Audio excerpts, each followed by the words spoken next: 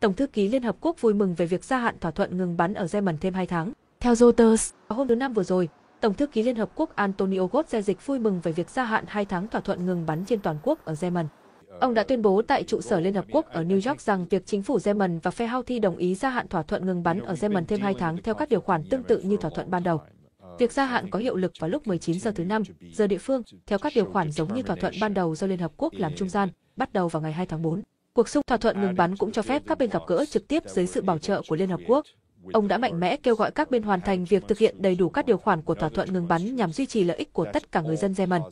Phát ngôn viên của người đứng đầu Liên Hợp Quốc đã nói trong một cuộc họp báo hôm thứ Năm rằng đặc phái viên Liên Hợp Quốc về Yemen Hans Zalbert sẽ tiếp tục làm việc với các bên để củng cố đầy đủ tất cả các yếu tố của thỏa thuận ngừng bắn và đạt được một dàn xếp chính trị bền vững. Đó chắc chắn sẽ là một mục tiêu.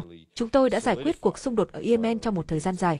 Vì vậy tôi nghĩ chúng tôi cần tiếp tục thể hiện quyết tâm trong việc bổ sung các khối xây dựng có thể tạo ra với các bên. Chúng tôi đã đình chiến kéo dài 2 tháng. Chúng ta sẽ trải qua một hiệp định đình chiến kéo dài 2 tháng nữa. Đó là tất cả động lực tích cực. Đây là tin tốt cho người dân Yemen, những người đã phải chịu đựng rất nhiều trong cuộc khủng hoảng nhân tạo này.